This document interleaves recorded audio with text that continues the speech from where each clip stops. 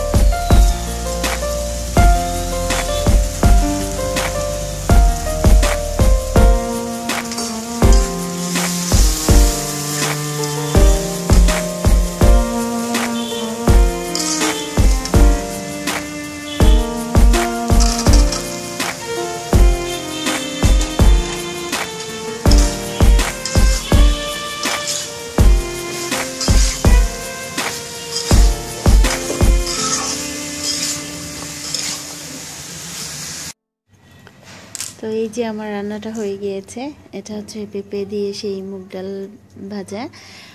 আর এদিকে হচ্ছে পটল, আলু, ইলিশের ঝোল, তরকারি। আর এই মাছগুলো হচ্ছে ভাজবো, কারণ সান তরকারির মাছটা খাবে না সেজন্য। তারপর এটা হচ্ছে বিকেলবেলা। দুপুরে খাওয়া দাওয়ার পর ঘুম থেকে উঠে বিকেলে একটু চা বানাইলাম। আর হচ্ছে এই শর্টকাট শর্টকাটে নাস্তাটা তৈরি করলাম, এখানে হচ্ছে সাবু। সাবু দিয়ে আলু দিয়ে একটা হালকা নাস্তা। তো এটা কীভাবে তৈরি করি? সেটা দেখাচ্ছি। এটা জিরা জিরা ফোড়ন দিয়ে নিচ্ছি সামান্য তেলে। তারপর আলুটা ভেজে নিয়ে আমি সাবুটা দিয়ে দেবো।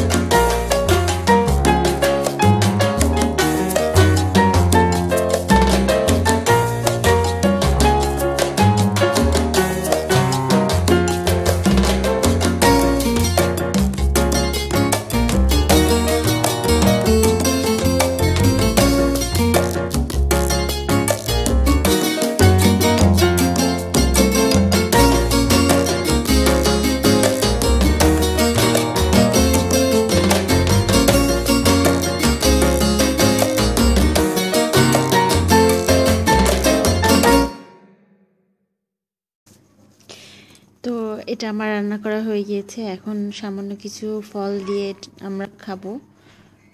তো আজকের ব্লগটা যদি আপনাদের ভালো লেগে থাকে, তো অবশ্যই সাবস্ক্রাইব করবেন, লাইক করবেন, কমেন্ট করবেন শেয়ার করবেন। তো ভালো থাকবেন সবাই, সুস্থ থাকবেন সবাই। সবাইকে ভালো থাকার শুভেচ্ছা জানিয়ে শেষ করছি আমার আজকের ব্লগ। আল্লাহ হাফিজ সবাইকে।